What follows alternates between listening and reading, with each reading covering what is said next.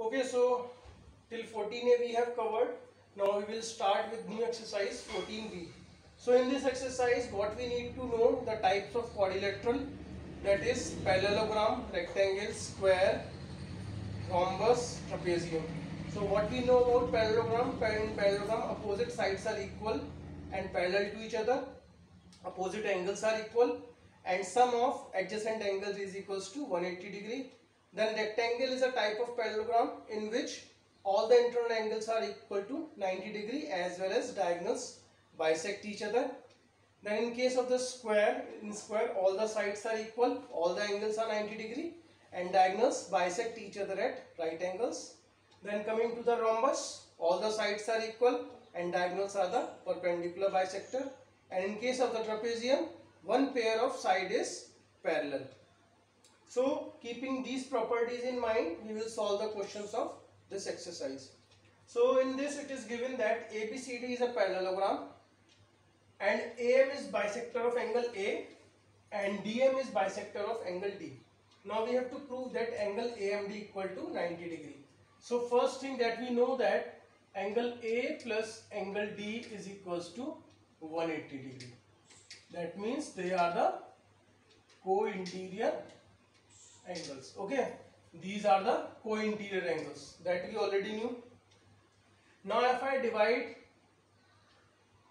half of angle A and half of angle D then it is 180 upon 2. So now since AM bisects angle A then angle DAM is equal to angle MAB equal to angle A by 2 and DM bisects angle D. So we can say that angle ADM is equals to angle MDC equal to angle D by 2. Okay. Now what we need? We need these two angles. Okay. We need these two angles. So we will replace this half of angle A by angle DAM plus angle ADM equal to 90 degree. Okay. So I have replaced this half of angle A by DAM and half of angle D by ADM. Now we will take in triangle AMD angle AMD plus angle DAM plus angle ADM is equals to 180 degree angle sum property. Then the value of these two is let it be first. So we will put the value from first angle AMD plus 90 degree equal to 180 degree so from here we will get angle AMD equal to 90 hence proved so which property of parallelogram we have used in this? We use that in case of the parallelogram adjacent angle sum is equals to 180 degree.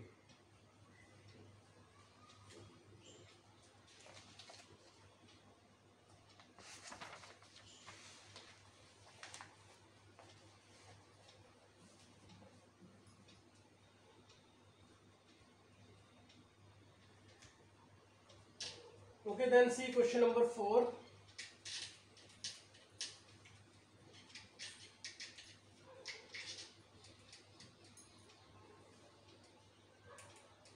So in this a square is there.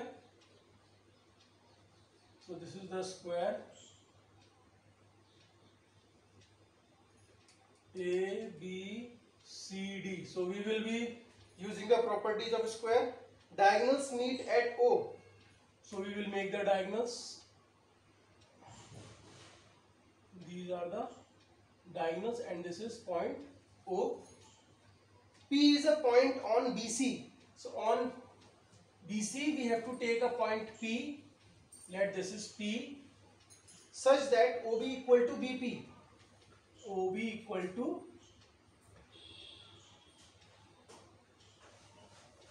So it is given that OB is equal to BP.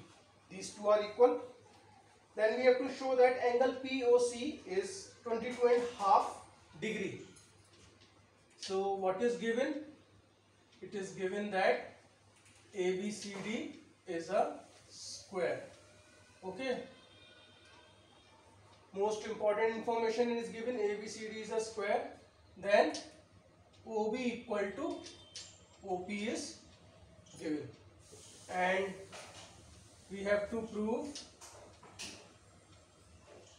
first part angle POC equal to 22 and half degree then in second part angle BDC equal to twice angle POC and in the third part angle BOP is equals to twice angle COP. So these are the parts that we have to prove. So let's start. So let's prove it. So angle B angle OBP is equals to how much? 45 degree. First thing, why? Because diagonals bisect base angle. Okay. So in case of the square as well as in rhombus, the diagonals always bisect the base angle. And since this angle B is 90 degree, so angle OBP is equals to 45 degree. Then in triangle OBP, OB equal to PB is given. So it becomes an isosceles triangle. That means angle BOP is equals to angle BPO. Let these two equal to x. So I have assumed these angles as x. Okay. So we can say that x plus x plus 45 degree is equals to 180 degree.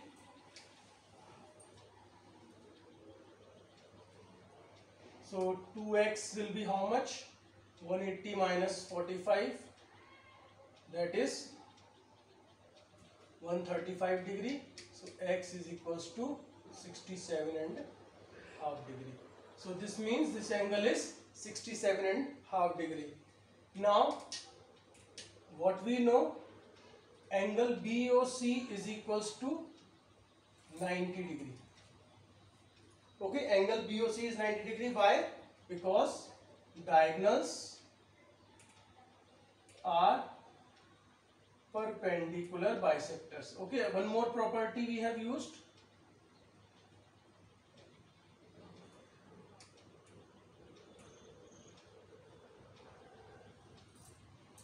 Perpendicular to each other. So this one, one more property I have used, diagonals are perpendicular to each other.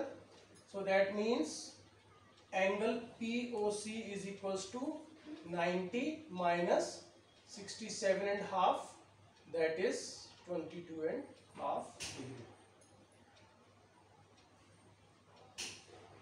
Okay. So this angle we got as 22 and half. This angle we got as 67 and half this whole is 90 degree. So this angle becomes 22 and half degree. Then second part angle BDC so what is angle BDC again? Is equals to 45 degree. Reason is same. This reason diagonals bisect base angle. So this is again 45 degree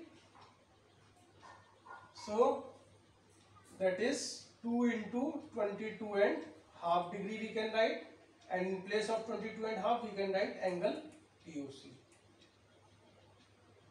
Okay, hence proved.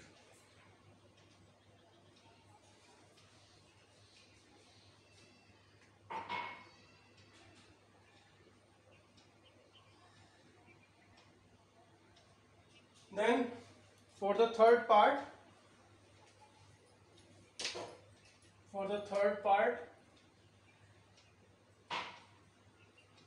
angle BOP that we have just found out as 67 and half degree. So this we are I am writing as 3 into 22 and half degree. So again we will replace the value as 3 into angle COP